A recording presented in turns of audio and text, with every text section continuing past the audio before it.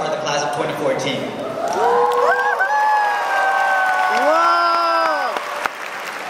Now, four years ago, we started one big journey together. Today, we're all here on the cusp of a new chapter in our lives. However, we did not make it here on our own. No man is an island, and I will take this moment to thank parents, families, teachers, principals, counselors, and most importantly, Google and Wikipedia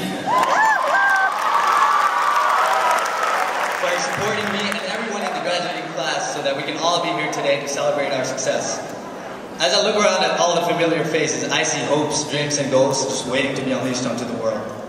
Now, four years ago, I was heights and playing soccer in construction fields in the tiny country of Nepal, where I was born and raised.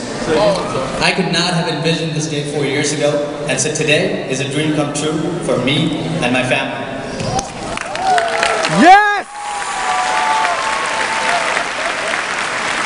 But if leaving everything behind for the sake of a better future has taught me anything, it is to never rest on my past accomplishments and to never settle for mediocrity. Even standing here, having accomplished what I never even imagined a few years ago, I don't quite feel content. Today doesn't feel like the realization of a dream, but rather the beginning of new ones. College, a great job, a great family, and later on, a retirement home in the south of France. It'll be like that for all of us. Our dreams will keep on changing because that is the very nature of dreams. If it wasn't, the whole world would be overrun with astronauts and princesses. Because our dreams keep changing and evolving, we will almost never attain the complete satisfaction of achieving our dreams. We may never achieve our dreams because we should always be chasing them.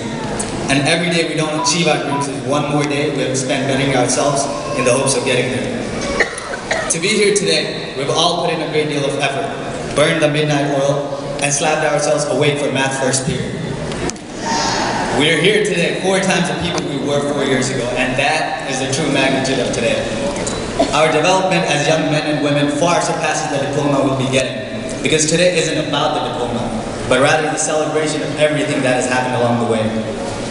Not one of us is going to kick back and say, well, I'm done with that, no more effort from me, because we realize this is only a stepping stone on a path of bigger and better things. The real failure in life from here on out is not getting an E on a paper or failing a test, but rather standing still and not having a dream to chase. We need to realize that we will never truly reach the end zone and that we won't really win in life, because our dreams should and always will be a little out of reach.